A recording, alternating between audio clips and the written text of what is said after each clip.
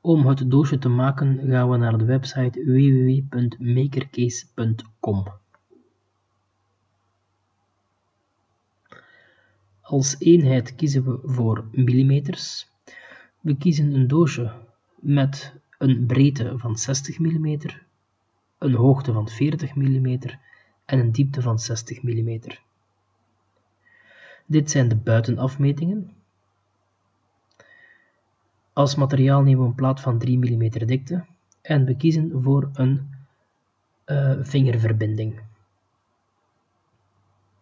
We krijgen een overzicht van hoe het doosje er zal uitzien. Dan gaan we naar beneden en kiezen we voor